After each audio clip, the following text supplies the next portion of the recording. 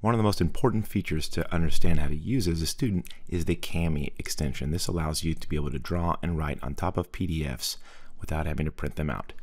Now, if you're logged into your Chrome browser, which is important and vital in order for you to be able to use it, it will not work if you're in Safari or any other browser, and you don't see the blue circle with the white K in it, that means that you are not synced in or you must turn on your sync. Once you turn on your sync in your Chrome browser, then you should see a specialized bookmarks folder that pchs.palihigh.org that we control, and then all the extensions that we have in, installed for you, including the Kami extension.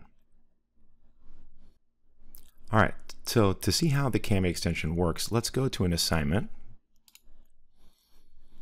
that has a, a, PDF that looks like this that you would want to write on and then turn in without having to print out.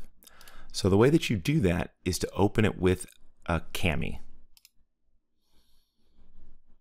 Now when you do that, make sure that you sign in with Google. And then it should open up the Schoology assignment that has the attached PDF in this Kami browser. Now anything with a lock next to it is locked because we have the free or basic plan but you're still allowed to use the text box feature. Now you can change the font size and color, and in order to use it, you just click your cursor anywhere you want to type.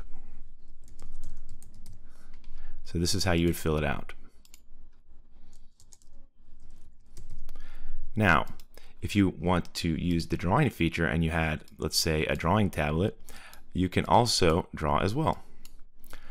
Now, when you're ready and it's time to turn it in, there's a turn in button and then you turn it directly into the assignment.